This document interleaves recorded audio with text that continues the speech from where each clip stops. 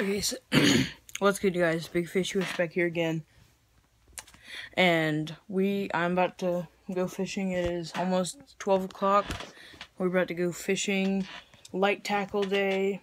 Hopefully, we don't see any giant fish, and if we do, we're gonna try to catch them and tighten down the drag, and just we have to baby the fish in. So probably gonna try to catch some pompano, yummy and uh, maybe pomp yeah pompano, striped bass, stuff like that. Ladyfish to maybe catch a snook. That'll be awesome. That's the first thing I'm gonna do is just try to catch a bait. I'm gonna try to catch a ladyfish. So guys, I'll see you there. Bye.